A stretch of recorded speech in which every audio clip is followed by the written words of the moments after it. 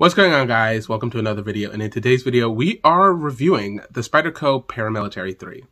Let's get into the video. I know, times are tough.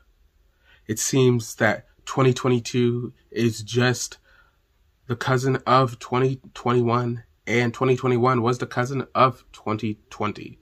But there is a bright light. Well, in this case, a dark knife. So, no, it's not a Batman reference. It is not the Dark Knight. It is this black on black Spyderco Paramilitary 3. This is a 3 inch blade, friction lock, as you could hear. Um, not spring assisted, which is okay. Some people do like that, but I am okay with just the friction lock. Now, what makes this knife the perfect pocket knife? Well, besides its overall length of um, 2.93 inches for the blade, uh, this is pretty much perfect for anything you can use. I've had this knife for about two years now.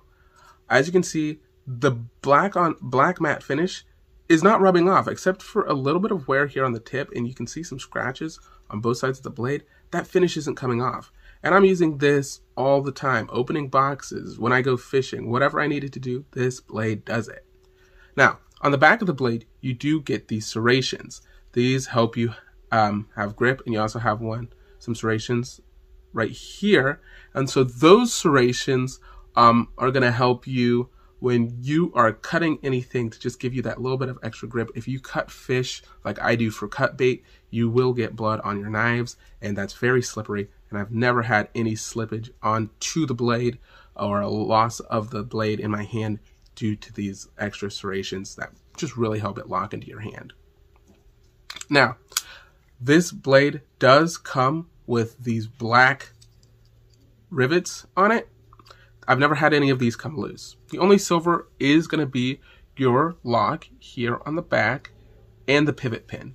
So the way you activate the knife is you stick whatever finger you want into this hole to flick it open. You're just doing this thumbs up motion, this flicking motion with your thumb. Just stick your thumb into the hole and then there you go. Activated knife. It's quick. You got that nice crisp lock and I just love it.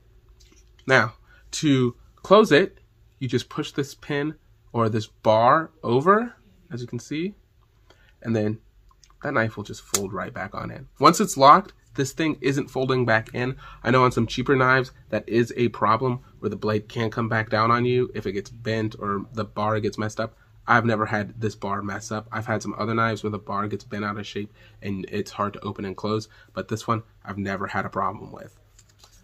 The pocket clip is a great pocket clip. I've never had it bend out on me. Um, if it would bend out, I, you can probably buy replacements. I'm not completely sure if you can, but I would imagine that you can. And it's swappable, so you can put it for whatever hand orientation you have, if you're lefty or a righty. And then it also comes with this lanyard hole. So you can tie it around your uh, neck, hang it off your keychain, however you like to carry. This knife will do it. This knife is the plain edged version, um, high carbon steel. And you know what, guys? This thing is, you know, American made. Just really enjoy Spyderco knives. And for the black on black version, which you see here, this is going to run you about 120 bucks. So if you need a good Christmas gift idea, I know the Christmas season is over. Valentine's Day is coming up. If you know somebody that needs a knife and you love them, consider getting the Spyderco Paramilitary 3. Now, there are links down in the description where you guys can find this knife. If you guys found this video helpful in any sort of way, please go down there and buy one for somebody. Give this video a like, share, comment, and subscribe. I will catch you guys in the next video. Peace out.